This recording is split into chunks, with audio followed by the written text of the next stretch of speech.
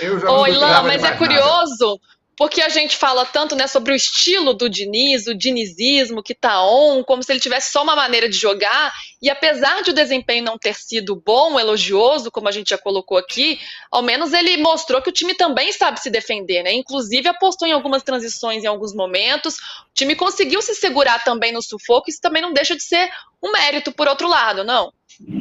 É, na verdade ele recompôs a defesa, né? Quando ele, quando o Felipe Melo foi expulso, ele instantaneamente, Felipe Melo saía de campo, já entrou o Manuel, né? E aí ele tirou o Gabriel Piran, que acho que não entrou. O Gabriel Piran saiu sem ter entrado, que é um jogador que não participou do jogo, é uma escalação para lá de discutível, polêmica e questionável do Diniz. A gente vai falar disso daqui a pouco. Mas enfim, entrou o Manuel, então o Fluminense defensivamente ficou da mesma forma que estava, com seus dois zagueiros, com dois laterais. E eu concordo com o que disse o Rodrigo. Ficou a sensação aqui, apesar do Fluminense estar com um a menos, que o Fluminense passou até a estar mais seguro defensivamente. Por que isso aconteceu?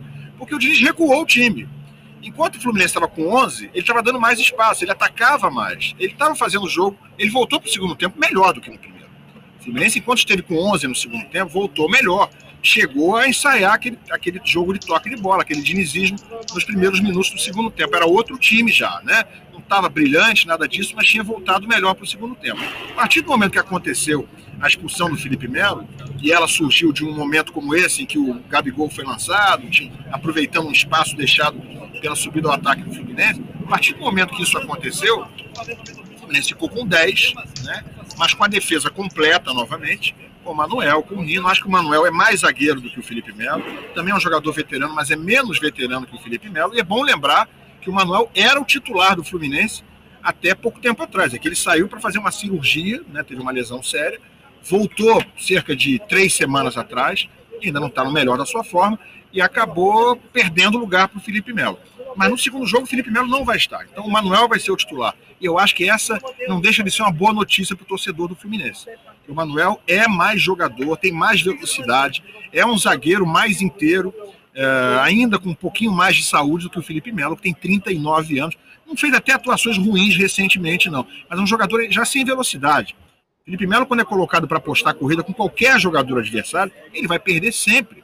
Tem quase 40 anos de idade, como perdeu hoje na corrida para o Gabigol, deu uma butinada e acabou sendo expulso. Então, é, é, o Fluminense foi sólido defensivamente no segundo tempo? Eu acho que sim, a partir do momento da expulsão, sim. Mas o Flamengo teve as suas chances. Não dá para a gente dizer, ah, o Fluminense é que salvou, é, é, que impediu que o Flamengo fizesse o gol. Não, o Flamengo teve umas três oportunidades muito claras depois da expulsão uma delas uma cabeçada do Arrascaeta, que perdeu gols feitos hoje, perdeu no primeiro tempo, perdeu com essa cabeçada. Mas essa é logo depois, tempo. né, Ilan?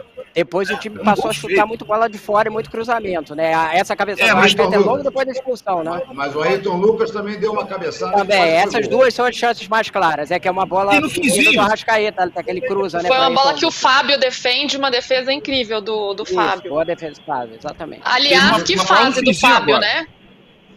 No final, 42 anos é, também. França também teve uma chance clara e o Fábio também defendeu. Mas foi é, muito é, Fluminense fez... o tamanho de domínio do Flamengo. Essa é que é a questão. É.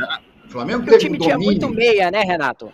É, é, inclusive, é. eu concordo contigo. É, o equívoco que ele, dele ter botado o Vidal, por quê? Ele ele, ele, ele já tinha o domínio do meio de campo. O Fluminense estava recolhido. O Ganso, o, o Cano, coitado, estava brigando aqui com os zagueiros do Flamengo. Não, ele não conseguia encostar na bola porque ele era oprimido por dois, três zagueiros. O Flamengo tinha o meio de campo inteiro. Isso já estava ganho. Aí ele põe um jogador para tocar mais a bola em vez de ter alguém na área, que o Gabigol saía toda hora visto que ele não tinha o centroavante, ele podia ter botado um garoto como o Matheus Gonçalves, que ia ter uma, um drible na lateral, alguma sim, coisa sim, mais sim, contundente, e não um jogador mais um para ficar tocando a bola, que você já tinha o Pulgar, já tinha o Gerson fazendo isso, você já tinha esses jogadores. Por isso eu concordo que foi um equívoco ali de uma partida muito boa. E isso é uma outra coisa, né? De uma partida entre Sampaoli e Diniz, o jogador, o técnico mais corajoso hoje aqui foi o Sampaoli, né? Porque o Sim. jeito que ele jogou o primeiro tempo, ele foi muito valente. Ele botou a linha de defesa dele lá na intermediária ofensiva e se expôs e falou: vamos lá, o Flamengo vai ser protagonista e tal. E ele botou o Diniz nas cordas, né? Botou o Fluminense nas cordas.